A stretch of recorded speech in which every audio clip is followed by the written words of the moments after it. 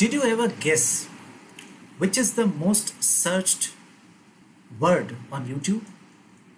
Well, if you consider the entire world, the most searched word in YouTube is BTS.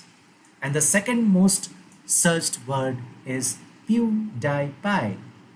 So what do these words actually mean?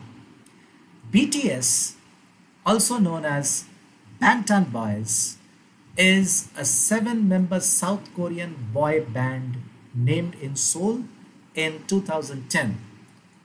And uh, this is originally a hip-hop group and the musical style has evolved to include a wide range of genres.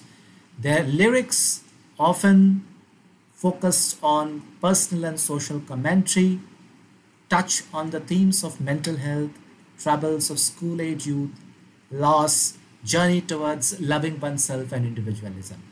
On the other hand, Pi Dai Pi is actually a YouTuber, he is a comedian and a philanthropist also primarily known for his Let's Play videos and comedic formatted shows. After registering his YouTube channel 2010, he posted Let's Play videos of horror and action video games. His channel experienced substantial growth in popularity over the next two years, and he reached 1 billion subscribers in July 2012. Later on, he went on to become the most subscribed YouTuber on 15th August of 2013.